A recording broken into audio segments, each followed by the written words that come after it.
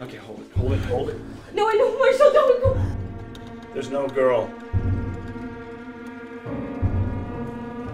There's no girl.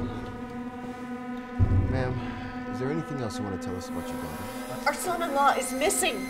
He could be in danger. You should be out looking for him. Okay. And I don't know what to do. Vicky, you are strong.